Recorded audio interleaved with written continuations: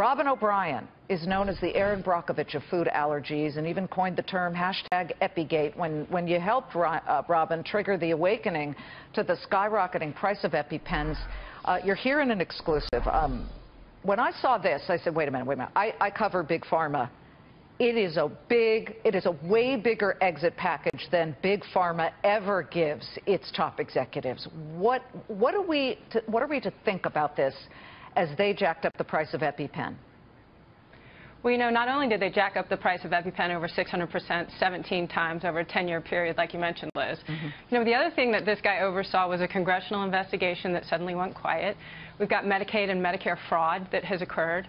And we've got lawsuits, class action lawsuits that are aiming at this company right now. So, you know, he maybe he earned it, maybe he didn't. There's a lot going on there. I think what we probably need to do right now is take a lesson out of the Wells Fargo book, and you kind of need to disinfect this board. You've got three board members that are stepping down right now amidst all this stuff going on.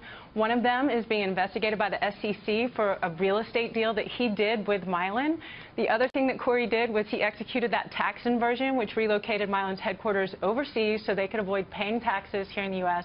Meanwhile, he executed this business model on the backs of American families and specifically on the backs of American kids. Both you and I have, well, it's your, your child and my nephew have fatal allergies. If, I mean, throughout my nephew's entire life, we've all carried EpiPens at every place that he could possibly be because if somebody breathes on him, uh, milk, he, my nephew, he, he could die if he doesn't have that EpiPen.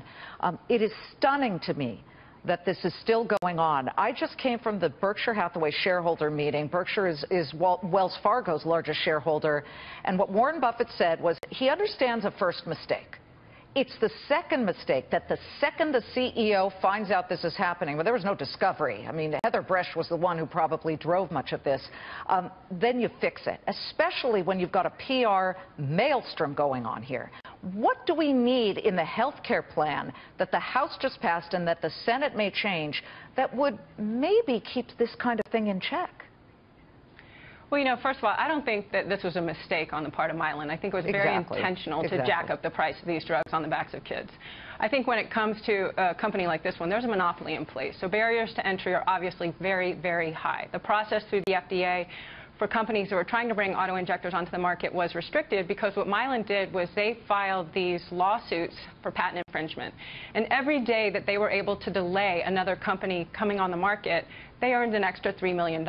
So they were able to use the legal courts to try to prevent and block competition. So I think if we're going to have a competitive marketplace, if we're going to keep the prices down, there's got to be lower barriers to entry. And if you think about it, when you go to buy a shirt or a car or a television set, you've got choice in drugs, for example, we don't mm -hmm. have that same choice. We need the choice in the marketplace in order to put, drive a healthy... We hold the FDA's feet to the fire. We have a brand new EPA chief who's getting really strong marks, certainly from, from the gang over at the Wall Street Journal. I watched a whole show where Paul Gigot on the weekend was saying this guy is, is definitely somebody who's going to fast track. There's some dangers in that, but uh, there were uh, generics that just couldn't get push through. I'm hoping Scott Gottlieb makes this happen. You know, it's interesting. I mean, Scott Gottlieb himself has a pre-existing con condition. He's a cancer survivor. And so, you know, he's been an investor. He's been a consultant. He's been a board member of many pharmaceutical companies. So he's an insider. He knows how this works, just like Hank Paulson was an insider for banking and came on as, as the head of the Treasury. It's not, it's not unfamiliar. We've seen this pattern before. I think, again, what is absolutely required here, especially in light of what we've been experiencing with these skyrocketing prices for EpiPens and insulins and other drugs, is you've got to have complete transparency around this process. You've got to lower the barriers to entry so that we can have a healthy marketplace and healthy competition. Uh, Mylan's flat right now for the stock, but uh, I am sorry, I don't mean to throw a, throw a wrench into the picture, but can we put up that $97 million exit package up one more time? To me, this is stunning. This is way bigger uh, for compensation than most Fortune 20 companies ever pay, and Mylan's market cap is so much smaller. Um, Listen, we, we put yeah. in multiple requests, Robyn, you know this, to speak to Mylan. Uh, they'll only talk to the other guys because I, I guess they feel that um, I'm, I'm going to be too hard on them or something, but it, it's really disappointing. I mean, I think what you got to remember, Liz, is that EpiPen represents 40% of their operating profits, and the way that they've been able to do that was jack up the price of this drug, Mm-hmm. Because then their uh, then their margins are just massive, and so with those margins, they're able to drive this profitability. And you know, again, let's have transparency to that. Let's do a further Gotcha. investigation. Congress got some stuff started. There's legal action, Sanofi, class actions. There's more to come. There's more in that closet, and I think investors would be smart to do what Wells Okay. Fargo did, clean out that board and start over. Thank you very much, Robyn. Uh, you've done yeoman's work for kids with allergies. We appreciate it. Thanks, Liz.